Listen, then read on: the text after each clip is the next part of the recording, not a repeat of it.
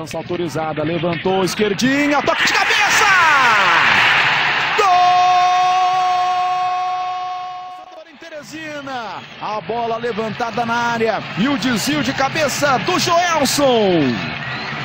O Altos empata, o jogo deixa tudo igual no placar.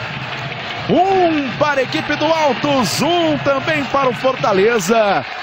Testou bonito, testou bonito. Pro fundo das redes.